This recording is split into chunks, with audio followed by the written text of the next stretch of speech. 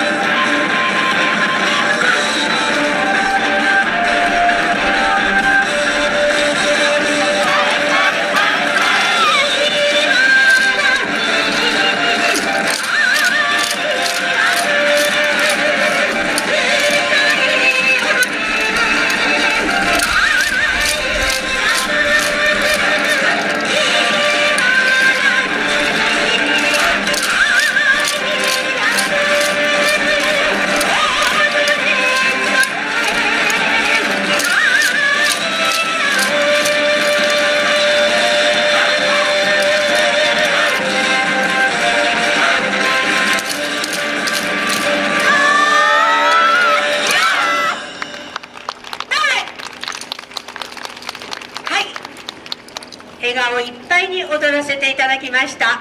たくさんの拍手をいただきました。お客様に礼。ありがとうございました。なのではい踊り子退場。みんな手作りの衣装というのもあるんですよ。仲良さこいもこれ。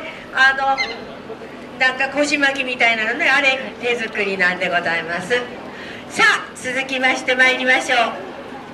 阿見町からどうぞ秋山前の会の皆さん今一度お願いいたします。